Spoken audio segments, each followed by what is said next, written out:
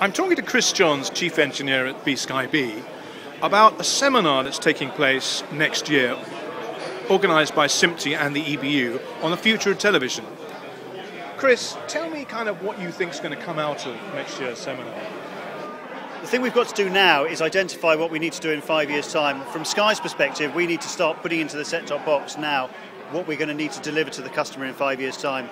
From SMPTE's perspective, they need to identify what products and what standards they need to put in place for delivering those, those, those events.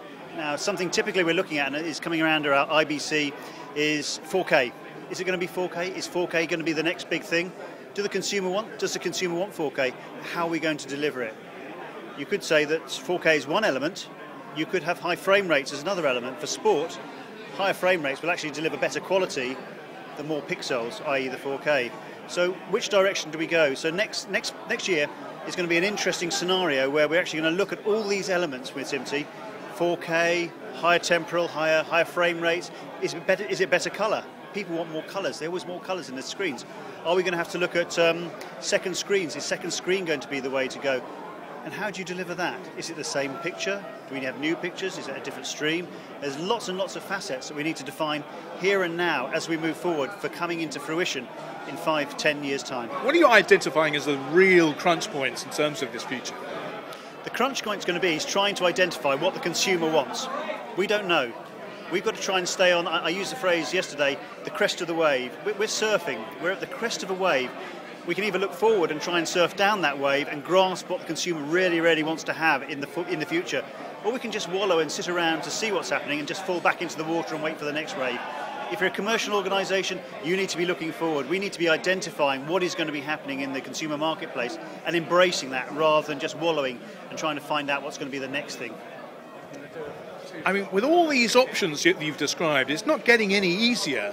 So, from Sky's point of view, what is the one thing that you identify that might emulate the success of 3D? Now, there's a question. If I knew that, we'd be doing it here and now.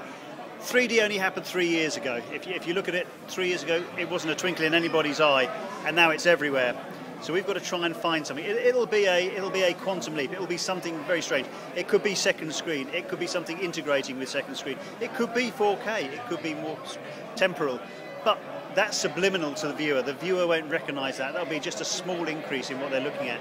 It has to be something big and different, and that's why we've got such a huge R&D department at Sky and a research department for these products. It's just to identify what the consumer is going to use in the next few years.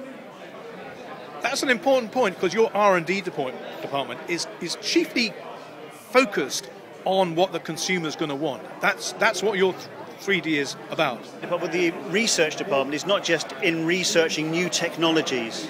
It evaluates all the technologies being delivered by the likes of Apple. If you look at the, the iPad, would we ever have thought we were delivering second screen into the home on an iPad two years ago? Probably not. But now everybody thinks it has got to be the second screen. You want, you have to be. We've got Sky Go. You have to be able to watch these things on a portable device on your lap in home. It could be something similar that that comes on, a consumer device appears in the marketplace, we have to embrace it. We've got to make sure we're looking for that, that item to embrace. Chris, thank you very much.